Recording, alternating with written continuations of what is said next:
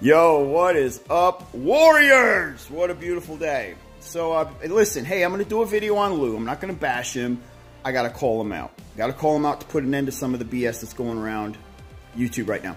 Before I do, that is not a Christmas tree. I got I got to give props to the wife. This is no longer a St. Patty's Day tree. This is now an Easter tree. Damn right. Look at the carrots. You got the evil rabbit heads. You got pictures of the rabbits. You got a little bit of spring right here. Look at the spring. You know, she goes all out, man. She is super creative. Look at that. Carrots, eggs. Look at the Easter egg. Yep. Wife goes all out, man, for the holiday. She don't quit. And so the last time I put her tree in a shot and said it wasn't a Christmas tree, somebody called me out on this guy right here. Was like, okay, what about the nutcracker that's sitting right in the center of the room? So the reason we never put the nutcracker up is because he wears my current medal for the year that I would have won in powerlifting. And so what I'm going to do in May is that medal comes off, the new medal goes on. That is my motivation to not quit and to no matter what, keep freaking going. And that right there, look at that. That's gold, baby. We have never won bronze. We don't win silver. And I hope I keep that tradition going. I have one coming up in May. I'm hurting really bad. The body is in a lot of pain, but I'm still doing the meet. I'm still going after gold. We'll see what happens, man. But that's why this guy stays, he stays out year round. He sports my current medal. This is what I got to say. First of all, all you dudes that intro your videos that this is not financial advice, I'm not a financial advisor, yada, yada, yada. You don't have to do that. Put it down in the description that if that's what you want to, you know, get across to your viewers, put it in the description. You don't have to open every single video with that. But also, realize this. Do you know how hard it is to piece together somebody investing in a stock and blaming it on you because they watched your video, and then you have to get a judge to agree to that nonsense because they watched a YouTube video. Come on! Ain't nobody suing anybody over any of this shit. Let me, now that I got that out of the way, that kind of coincides with what I'm about to say about Lou. So, let's go back maybe five months ago. On my YouTube channel, when I would mention Lou and I would do a good video on Lou, whatever, I, if, even if I did a bad, you know, I, I dissed him for whatever reason. People in my, um, comp, you know, they'd be commenting and everybody comments, hey, yeah, Lou's the man, Lou, Lou, Lou, Lou's the boss, Lou's the best.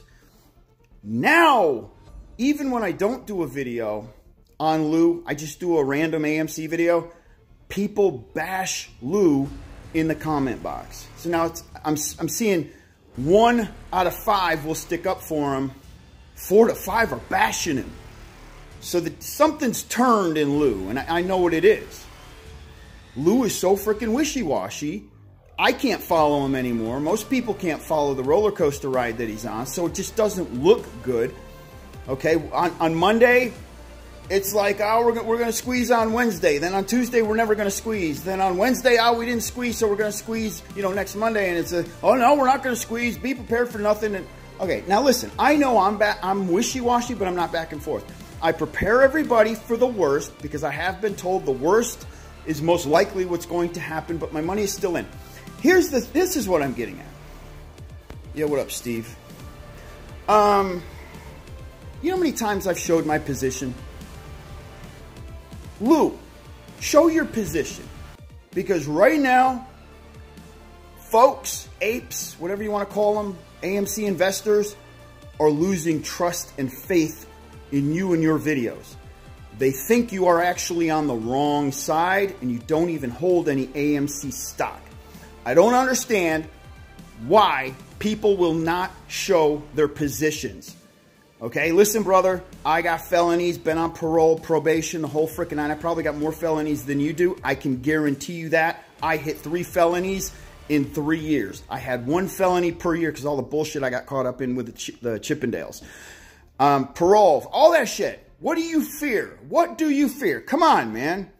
I've, you know how many times I've showed my position and what do you think is going to happen when you show? People are like, oh, okay, cool. And then they forget about it. Nobody hits me up for money, no trouble with the IRS, no trouble with this. If you're doing everything on the up and up, What the hell's the freaking problem? Just show it and shut everybody up. What's your position? How many shares you got? There's no reason. If Lou, if you got them, show them. Because right now, a ton of people are dissing you and doubting you, saying you are not an AMC ape. So why don't you just shut them up like I did? A lot of people fucking called me out, and I just show them. This, look, dude, you call me out right in the midst of the freaking storming the cockpit, I buy another 60,000. When people call me out, I shut them up. Bro, they're calling you out, but you ain't shutting them up, and there's no reason for you to not just shut them up. There it is. That's that's what this video is. It's to Lou, brother, from New York to New York. Show your fucking position and get it over with. Shut everybody up. All right, everybody. Y'all have an awesome afternoon. I'm doing another CEI video in a minute. Shaboom. Peace.